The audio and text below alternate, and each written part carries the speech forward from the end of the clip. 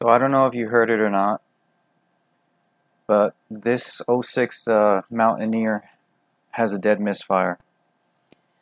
Uh, these are the codes. These codes are all related to a bad fuse, and the purpose of this video is to show you how to identify uh, a misfire using tailpipe pressure. Now, I brought up a discussion uh, a while back uh, somewhere, and the subject was on identifying a misfire with tailpipe pressure. I was trying to, you know, learn more information about it. And somebody came on there saying, you know, that's a stupid test. You know, you have a misfire monitor on most vehicles. And I disagreed with them because a lot of older vehicles, you're not going to have a misfire monitor. Some newer vehicles, you may not have a misfire monitor. Sometimes when you get to a shop or whatever, a customer, uh, the code is going to be cleared.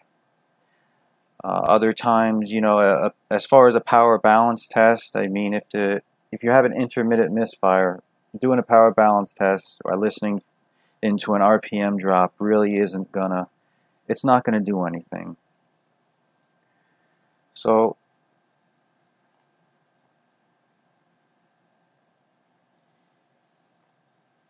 So looking at this waveform, uh, this this test only took about five to ten minutes to identify the misfire. So our blue trace is going to be our pressure pulses in the exhaust. Our red trace is going to be a sync on the number one ignition coil. And so like almost immediately after startup, we can actually identify what cylinder is misfiring. And what we're looking for in these pressure pulses is some type of anomaly or inconsistent. And we have this pulse here going down much further than the other ones. And this is a dead miss so of course every single time uh, this cylinder goes to fire it has a misfire basically. Now uh, let me get a better view here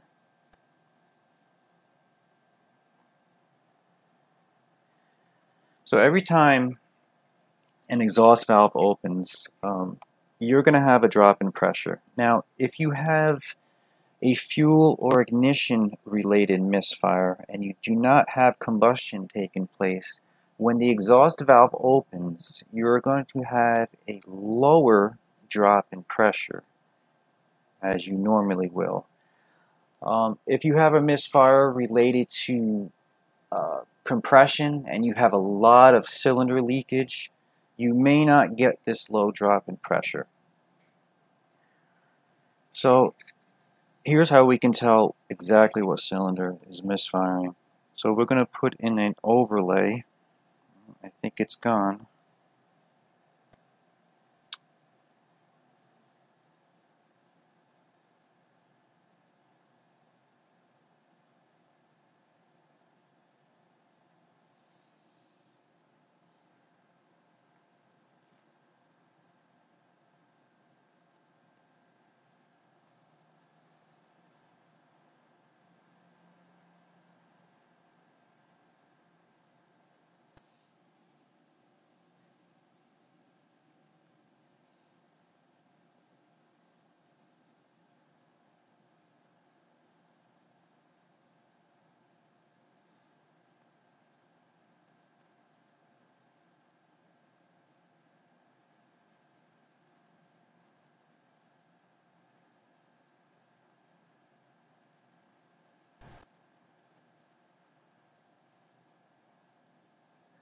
So we have our overlay up.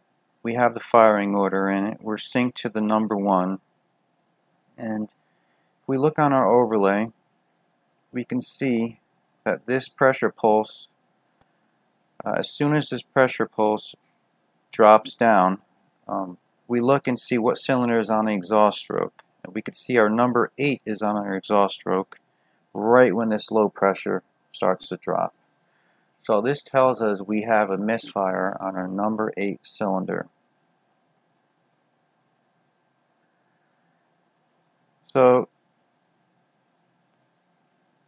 we're not going to get into this ignition waveform, but we have an ignition related misfire on uh, number 8. It's a bad ignition coil, but the point to this video is it only takes about 5 or 10 minutes to use tailpipe pressure to identify a misfire. And you're not going to use this on every single vehicle, maybe 5, maybe 10%. You know, it, sometimes it's just faster than using a scan so if you have all your equipment ready to go. So I hope you guys enjoyed this video. Thanks for watching.